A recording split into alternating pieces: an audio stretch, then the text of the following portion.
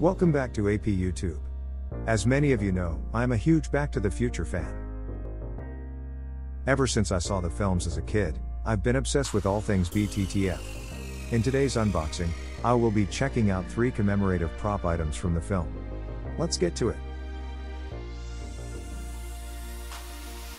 First up, we have a limited edition, commemorative silver coin.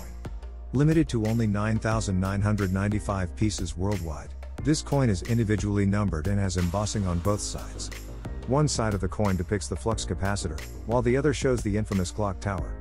The detailing on both sides is well done, with a clean emboss, and quotes from the film surrounding the design. The coin itself comes inside of a plastic protective case which makes for easy display.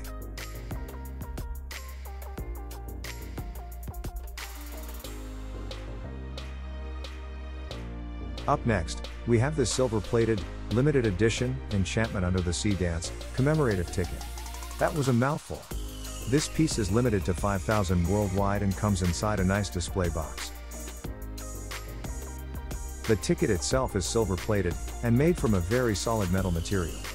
You may remember the dance playing a huge part in both the first and second films, where Marty has to make sure his parents fall in love, at this exact dance, or his future may have never been written.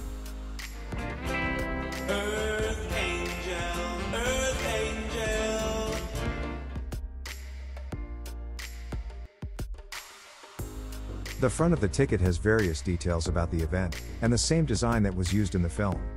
This piece is very well made, the silver color really shines and pops, and makes for a wonderful display piece for any BTTF fan.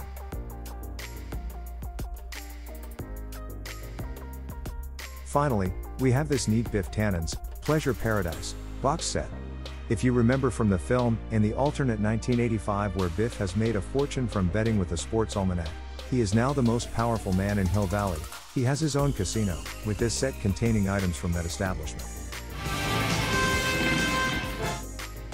The box is a nice thick material with Biff's Pleasure Paradise logo on the front.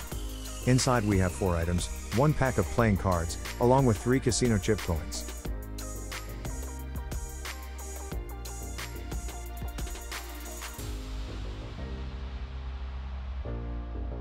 All three of these pieces are great additions to any Back to the Future collection.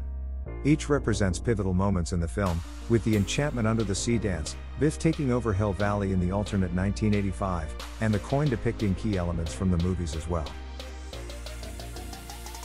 What is your favorite moment from the trilogy? Let me know in the comments below.